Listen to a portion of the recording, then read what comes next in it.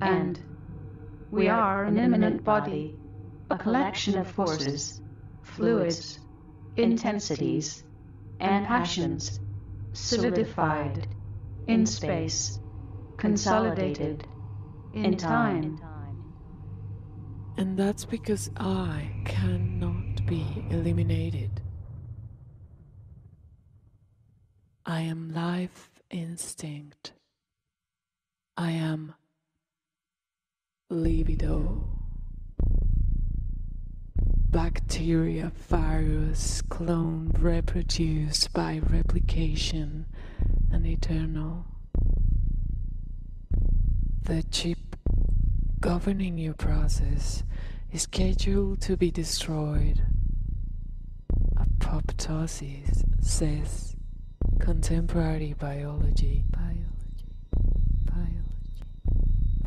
While I extend myself like a black veil. Like the nothing in the never ending story.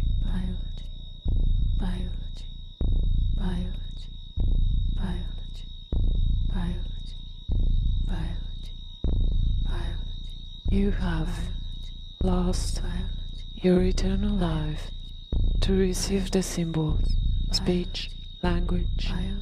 Therefore, you've created myth. And, and, this is why. This is why you